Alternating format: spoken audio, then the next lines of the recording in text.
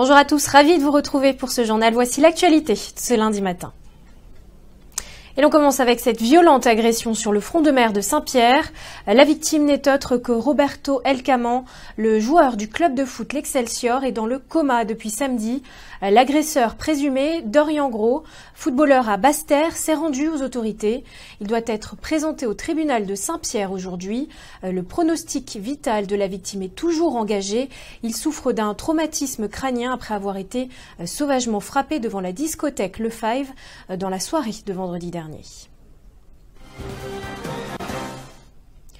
Inciter les consommateurs à privilégier des produits fabriqués à partir de plastique recyclé à travers un bonus-malus pour encourager le recyclage.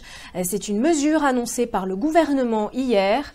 À l'horizon 2019, quand il y aura le choix, les bouteilles en plastique recyclées seront moins chères. La création de consignes pour les bouteilles en plastique est également envisagée.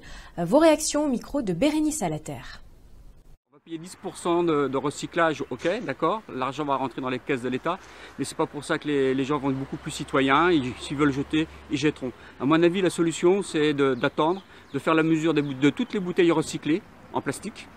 Ça veut dire, je veux bien payer 10%, ou 10 centimes de la bouteille euh, à l'achat, puisque je vais ramener ma bouteille après, en fin de compte, j'aurai euh, simplement un apport à donner au départ et après ça, sera terminé.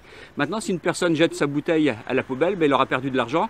Et même s'il la jette dans la rue, à mon avis, il y aura toujours euh, quelqu'un comme ceux qui ramassent les bouteilles euh, de bière, ainsi de suite. Ça fera le plaisir de quelqu'un qui, la ramassera et qui ira revendre sa bouteille en grande surface. Je pense que ça changera pas grand-chose. Les gens vont acheter quelque chose, vont acheter quand même parce que 10% ça va pas être énorme sur le prix et puis non, les gens vont continuer à acheter, euh, à acheter et puis jeter leurs bouteilles. 10% c'est quoi?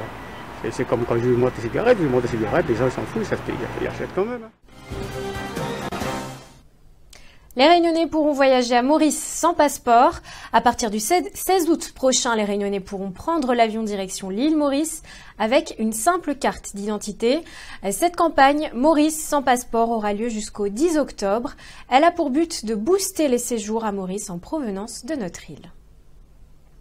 C'est la fin de cette édition. Je vous retrouve pour un nouveau journal à 18h. À très bientôt.